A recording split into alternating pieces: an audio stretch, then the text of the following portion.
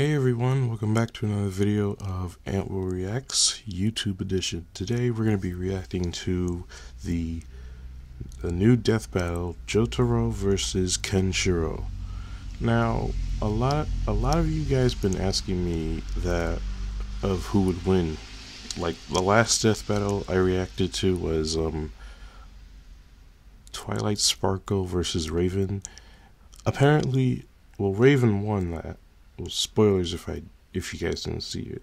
Um, well, a lot of you guys been like asking me like who would win.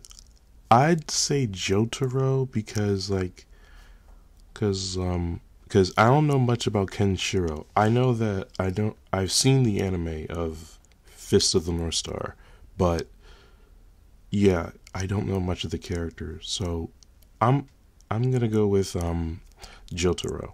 Okay. Without further ado, let's dive in.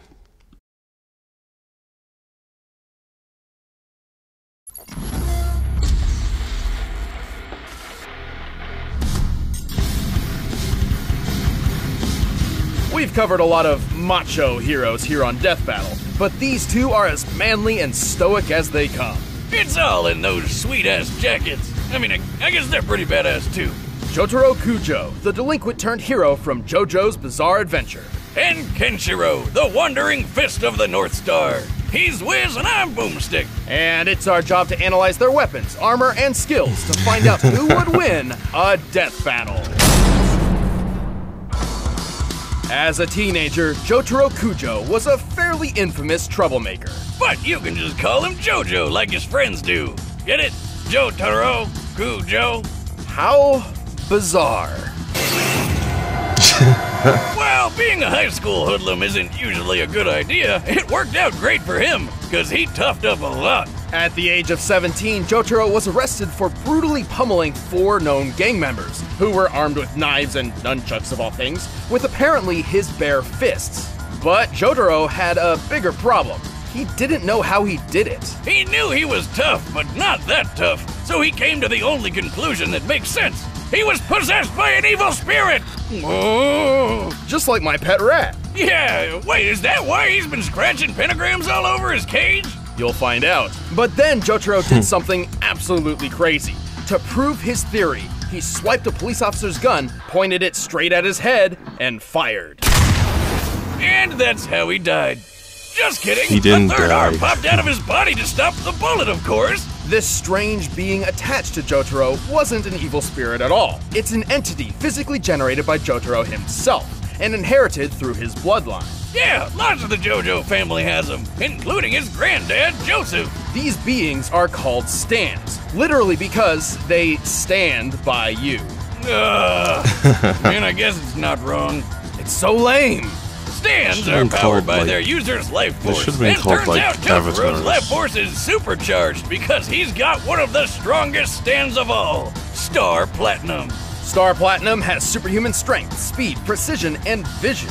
He can even phase through bodies and affect a person's inner organs. Plus, while Star Platinum can take a solid hit, most stands can only be damaged by other stands or stand users. So he's basically invincible unless he's fighting another stand? Exactly. In fact, unless you have a stand of your own, you wouldn't even be able to see Star Platinum. Oh, great. So he's invincible and invisible. And when you combine all that with Jotaro's fighting skills and exceptional cleverness, they make a magnificent team. That's good, because Jotaro soon found out his family's old vampire nemesis was out to get him. Dio.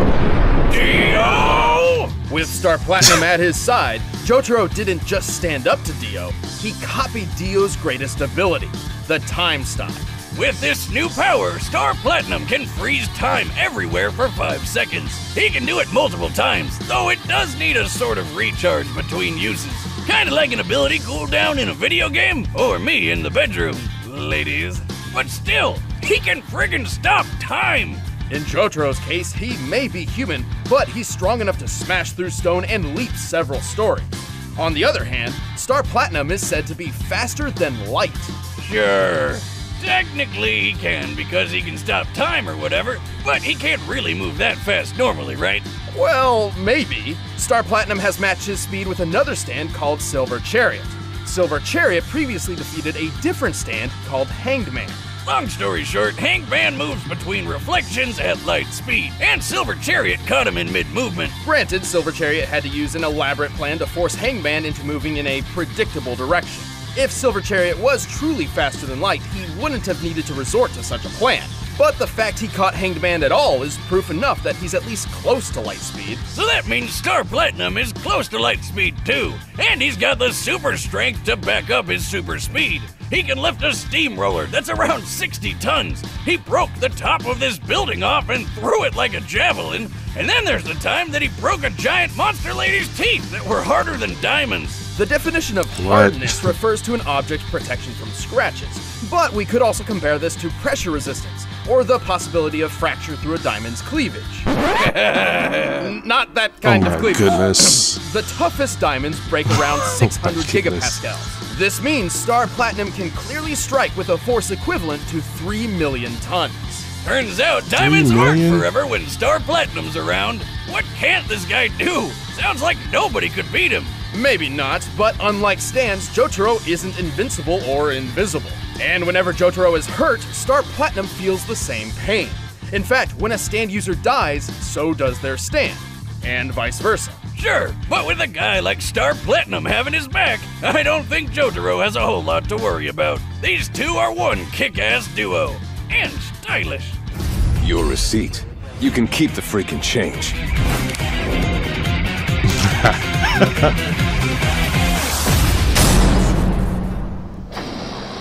That's It's why the I like last decade of the 20th century, and the world has been ruined.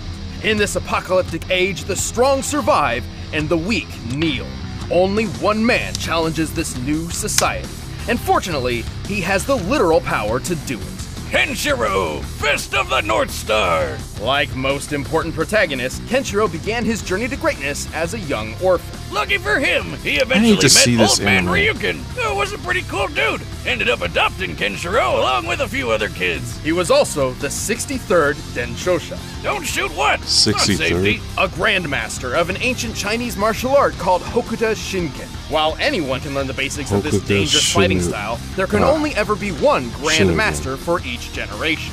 So that's what Kenshiro set out to be. And with patience, training, and plenty of muscle building, he was named the next successor of Hakuna Matashin. Too bad his adopted brother got pissed he wasn't chosen and killed Ryuken over it. Talk about a sore oh loser. Oh my With Hokuto. Shinken mastered, Kenshiro can focus his energy into his strikes, effectively killing an opponent with a single blow to their pressure points. There are 708 malleable pressure points in the human body, and striking any of them can cause all sorts of effects. Stunning, blinding, Oh. healing, restoring memories, making people walk backward.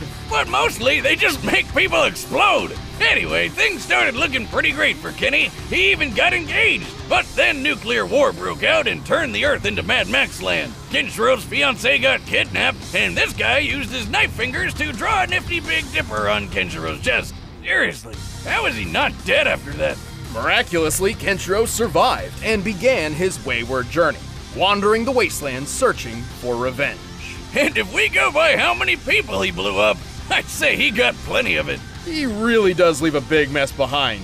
I can't even imagine what it must be like to clean up after one of his fights. Kenshiro had no problem killing hordes of baddies with moves like his bone crushing fist, spilling wheel exploding fist, and hundred crack Ooh. fist. Huh. Seeing him kill all these people from the inside out reminds me a lot of my ex wife. Um, how? Emotionally, Wiz. Most of the time, his body explosions don't even happen right away, giving him plenty of time to explain to his foes how they're about to die, right before they explode. You think you can beat me with a finger? That finger struck the hidden vital point known as Gakuchu. There's no use fighting now. You're already dead. But Hakuna Matata Oh, isn't just for blowing up God. people. Sure, Kenshiro has developed a number of legendary techniques, Just such as the Tenryu brutal. Kokyuho. aka the art of dragon's breathing. According to Kenshiro, this Dragon's unlocks breathing. the full potential of his natural abilities, where a normal fighter would only use about 30%. He can utilize Toki, or his own natural ki, to perform numerous techniques.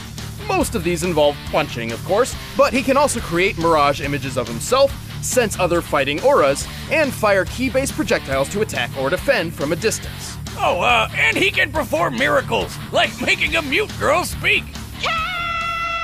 How the heck? But even that pales in comparison to Hokuto Shinken's ultimate technique, one which no previous Grandmaster ever unlocked Muso Tensei. Only those who truly Muso understand Tensei. pain and loss can apply Muso Tensei. With it, Kenshiro draws upon his inner sadness to enter a state of nothingness. From here, he is impervious to attacks, essentially achieving intangibility. He also somehow connects to the souls of dead allies and rivals, and can even use their techniques. But it's not like he needs them. He's already crazy enough on his own.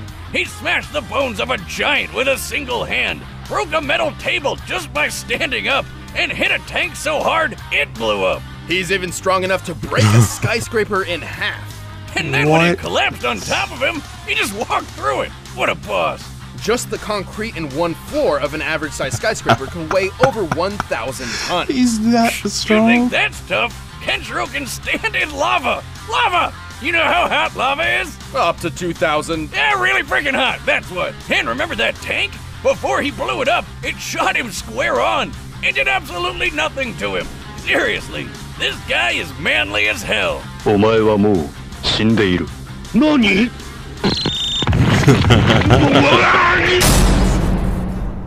all right, the combatants are set. Let's end this debate once and for all. But first, these guys are so stylish, you know they're rocking MeUndies. In a world plagued by despair, darkness, and terrible underwear, there's only one company we trust to keep the balance of style and comfort. MeUndies.com, makers of the best pair of underwear in the world. Their diamond seamed pouches cradle my most sacred of jewels without feeling restrained or imprisoned. Forged from sustainably sourced fabric three times softer than cotton, which renders the wearer plus 10 in comfort and agility. And MeUndies.com has a 100% satisfaction guarantee. You'll love your undies or get your coins back. It's dangerous to go unclothed. Get the softest underwear you'll ever own 20% off with free shipping and 100% satisfaction guarantee. Just head to meundies.com forward slash battle. That's meundies.com forward slash battle. Time is limited. Start wearing this legendary underwear. It changed my life, and it's time to let MeUndies change yours. Go to MeUndies.com forward slash battle right now. But first, it's time for a death battle!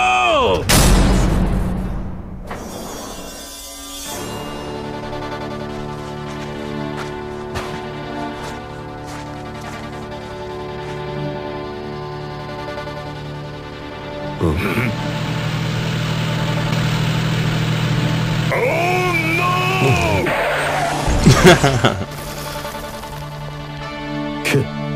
誰だ？おめえは。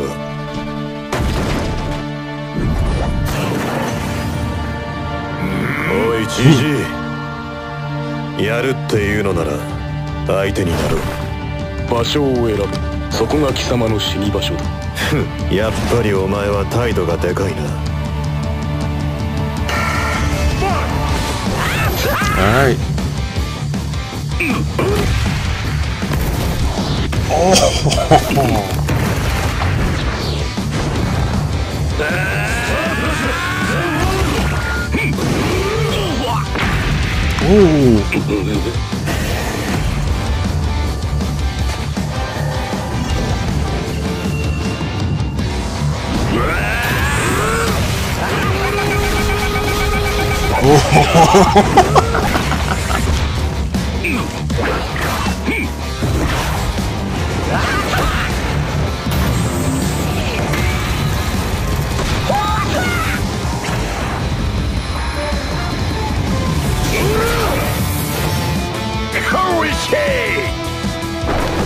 Hehehe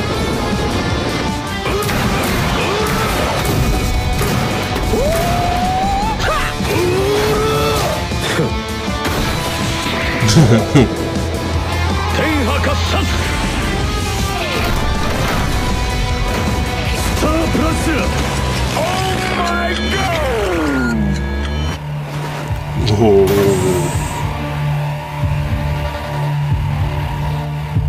時を止めた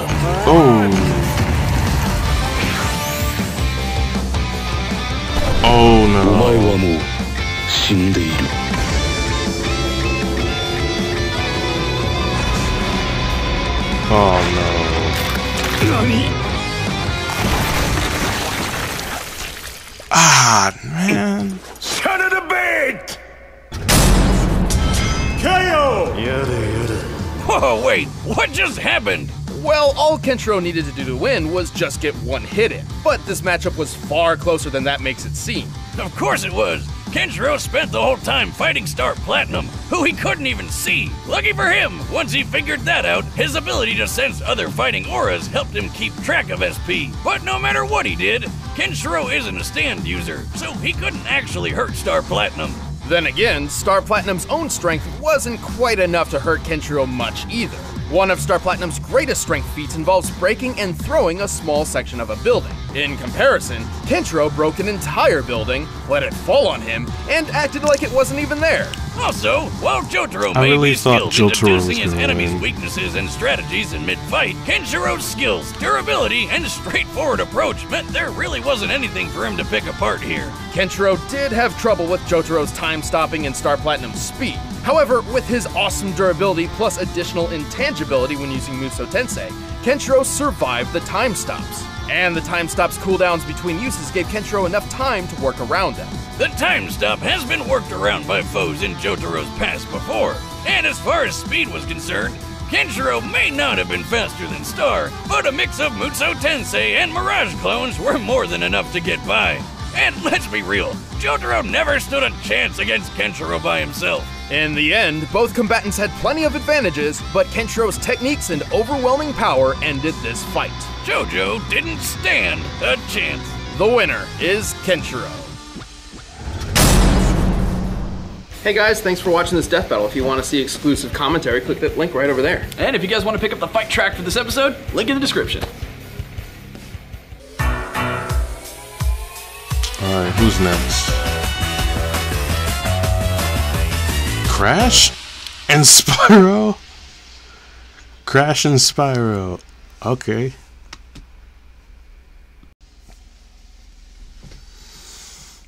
Okay, I really, really, really thought Jotaro was gonna win because he had like the time stopping thing and the aura aura thing, and I really thought it was gonna win. Thought he was gonna take it, take this win, but Kenshiro was that strong, and the fact that he created clones of himself, and he just did it with one touch. He ended it with one touch. Like you're already dead. that was a meme that was going on, and the fact that, like, I don't know. So I guess Kenshiro's for the win. Now for Crash versus Spyro. I don't know who would win because because like I don't know Crash or Spyro. I don't know. It's gonna be it's gonna have to wait three weeks for it. So anyway, I hope you guys enjoyed the video today. There's gonna be another video later on today. Hope you guys enjoyed the video. Make sure you just give this video a thumbs up. Subscribe if you're new to my channel. Share this with your friends. Comment below what you think of the video. And also, if you guys want to get notified of the videos I put up, just hit the notification button next to the subscribe button, and I will see you all in the next video.